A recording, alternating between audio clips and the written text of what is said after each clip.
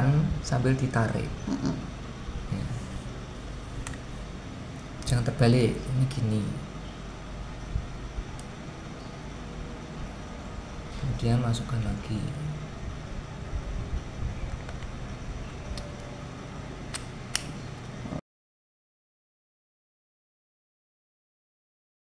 guys eh, ini kita akan mencoba jam digital ini bisa disetting dari belakang sana. Itu ada tombolnya atau dari remote. Ya kita akan mencoba dari remote dulu. Kita pencet tombol merah ini untuk menghidupkan. Nah kemudian kita akan nyeting. Ini pencet tombol setting nanti ya. Ini ada dua mode nanti. Itu mode jam 20 bisa eh, diganti jam 8 malam atau 8 PM caranya pencet tombol setting. Ini kita ganti 12 nah pencet tombol plus ya. Nanti hasilnya akan seperti ini. Nah jam 8 PM artinya jam 8 malam. Kalau kita mau kembalikan ke mode 24 jam lagi pencet setting lagi ini 24 jam. Ini nanti hasilnya kembali ke nah 20 jam 20 oke. Kemudian kita akan nyeting jam. Jam menit kemudian nanti tahun juga. Pencet tombol set dua kali nah ini jamnya kedip-kedip nih ini kita akan nyeting jam ini. Oke jam 3 kemudian kita akan nyeting menit. Ya sama seperti tadi tombol kita pencet tombol setting satu lagi. Nah ini yang menitnya yang kedip-kedipnya nah, kita akan merubah 330 kemudian kita akan menyeting tahun. Pencet tombol setting lagi. Satu dua tiga empat. Empat kali. Nah, ini eh, kalau kita mau mengurangi pencet tombol min kalau mau nambah pencet tombol plus ini ya. 2024 kemudian sekarang kita akan nyeting bulan.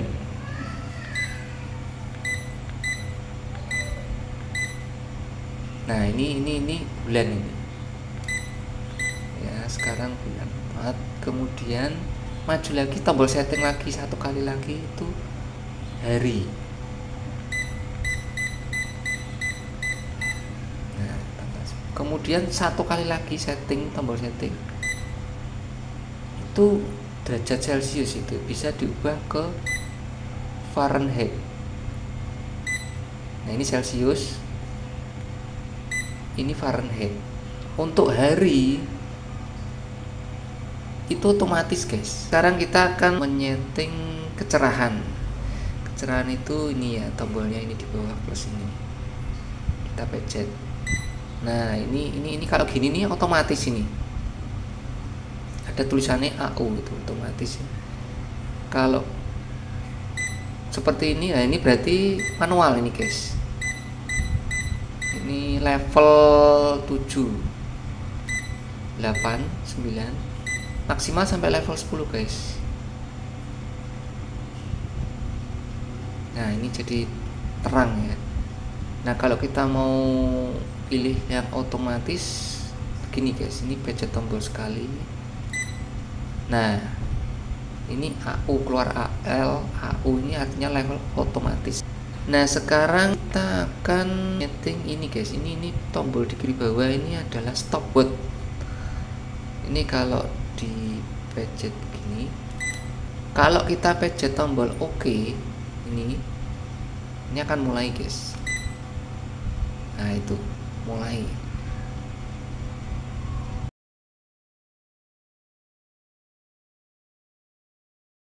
Guys. Nah, ini kalau kita mau menyetop. Nah ini. Dia akan berhenti. Kalau mau jalan lagi pencet lagi jalan lagi. Oke kita stop. Nah kalau mau mereset kembali ke setelan awal ini kita pencet tombol ini lagi tombol stop buat di kiri bawah ini selama 3 detik guys. Nah ini ini dia akan kembali ke menu utama itu tadi stop buat guys. Kalau yang kanan bawah ini hitung mundur guys. Ini ini ini fungsinya tombol hitung mundur. Caranya begini guys. Kita pencet ini. Kemudian kita isi. Kita mau hitung mundur selama berapa menit? Kita kasih contoh 10 menit ya guys. Kita akan pencet satu kemudian pencet tombol 0 satu lagi. Nah ini ini gini nih artinya 10 menit. Hitung mundur 10 menit guys. Nah kita akan mulai ya guys. Pencet tombol OK guys. Nah ini akan menghitung mundur guys. Kalau stop buat tadi itu maju. Kalau ini kebalikannya hitung mundur kalau misalkan mau berhenti di tengah jalan ini kita pencet tombol OK lagi. Nah, ini kita berhenti.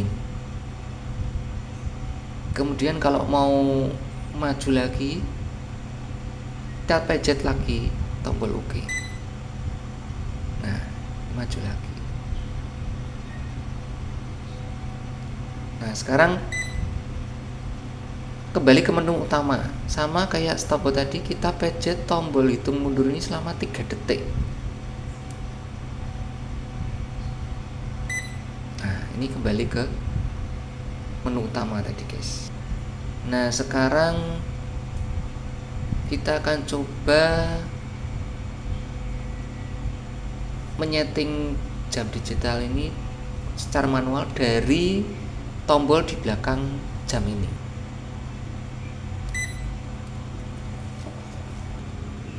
guys jadi ini tampilan di bagian belakangnya. Ada empat tombol. Ini tombol setting ini tombol plus tombol minus dan ini tombol fan tombol fan ini untuk menyeting alarm guys. Oke gitu aja guys. Semoga bermanfaat tutorialnya